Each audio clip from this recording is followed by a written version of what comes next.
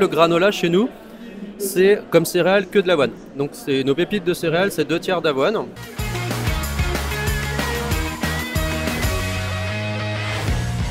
Ça, c'est un produit 100% de, de la ferme. On fait tout sur l'exploitation. Ouais. En fait, euh, l'idée c'était euh, de tout faire sur la ferme. Nous, l'avoine, on est capable de le faire. On a des terres qui répondent bien. On Les sait semis, c'est quand l'avoine d'ailleurs Alors nous, on cultive une, un, avoine de printemps. Oui. Donc là, les semis ont été réalisés la- la- enfin, juste avant l'eau, là, la, semaine dernière.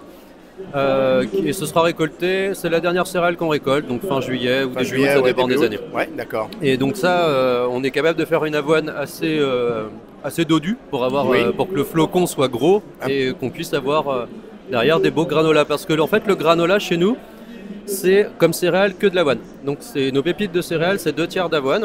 Euh, on veut faire des, donc des flocons assez, euh, assez gros qui puissent donner de la, hum, du croustillant. C'est vrai qu'on l'a, on les a goûtés. Et voilà, on- Et il y a- du fondant. Ils sont croustillants, mais ils sont voilà, et également fondants. Voilà. Et euh, et il y a de la douceur parce qu'il y a plusieurs recettes. Donc là, on a euh, par exemple celle-ci, c'est miel et noix. Donc le Ouais. miel nous apporte vraiment de la douceur dans le produit. De tes ruches. Voilà, donc ma femme a, a quelques ruches et donc euh, produit quelques miels, mais Ouais. il vient euh, d'aussi d'un apiculteur, euh, Hervé, qui est de la Qui vous commune. accompagne. mais Enfin, Bah, parce que oui. il faut, Il faut un peu- un il peu faut miel, miel. même. donc nous, on n'en a pas Ouais. assez.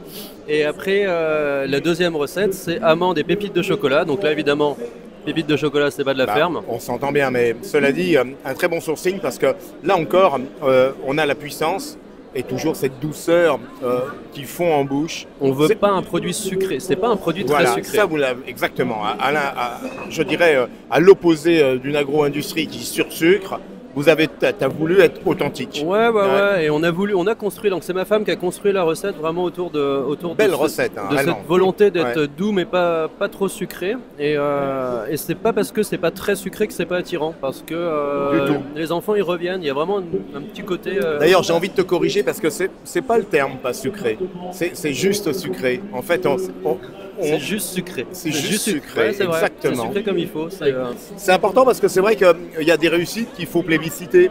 Parce qu'on pense qu'une recette, ça se fait comme ça un matin euh, parce qu'on s'est bien levé et que le chant du coq nous a aidés. Si ça- seulement.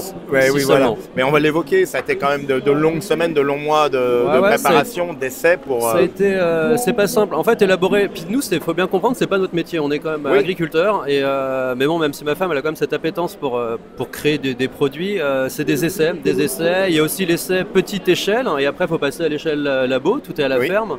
C'est, il y a des, voilà, on, on a des recettes qui n'ont jamais réussi à, Ouais, passer le des- cap. On a eu doutes, des échecs. Ouais. ouais, Il y a eu, il y a eu certaines recettes qui n'ont pas vu le jour. qui n'ont pas marché. Parce que passer à grande échelle, ça passait plus, c'était pas, c'était pas ce qu'il fallait. Bon, enfin, en tout cas, quand la, quand la réussite euh, amène au succès, euh, ce qui est le cas, bah voilà, quand même une belle, euh, une belle gamme. Alors, on rappelle donc les granolas chocolat, les granolas dorés euh, miel, Miel et noix. On a également les granolas roses, Exactement. cerises figues séchées et graines de courge.